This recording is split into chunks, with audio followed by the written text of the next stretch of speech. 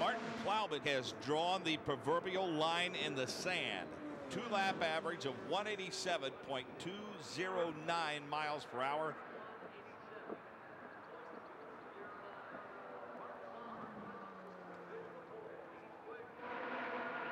And Charlie Kimball will complete his qualifying run. His two lap average 187.375.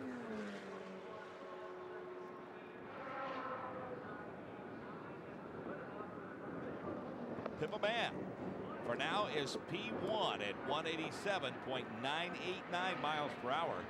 That was an incredible run for Pippa. Checkered flag is out for Wade Cunningham, and he will stay provisionally on the outside of row number one. His second lap at 187.516 miles per hour. The two lap average 187.742. Pippa Mann, Sam Schmidt Motorsports starts from the pole tomorrow in the Firestone Freedom 100.